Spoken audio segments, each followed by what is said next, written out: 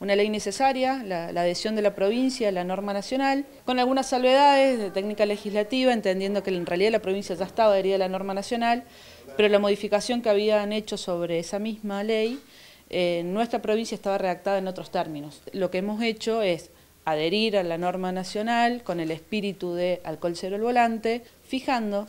en nuestro articulado la tolerancia cero al volante para quienes conducen, por supuesto, los vehículos. En este momento lo que va a pasar ahora, se envía al Poder Ejecutivo, se promulga en el Boletín Oficial y es el Ministerio de Seguridad como autoridad de aplicación el que tiene que dar la reglamentación y finalmente la puesta en marcha de la norma. Entonces es necesaria la unificación para contar todos con los mismos dispositivos y evitar de esta manera que haya algún eh, derecho a réplica posterior para cuestionar un equipo o la falta de los mismos. Hay dos categorías muy significativas, uno es la conducción riesgosa, que es quienes tienen presencia de alcohol menor a 1 y la conducción peligrosa que es superior a 1. Cualquier valor que supere el 1 lleva una sanción, por supuesto, con multas que quizás hoy, si tenemos que poner un ejemplo, estamos hablando de multas de 120 mil, 130 mil pesos.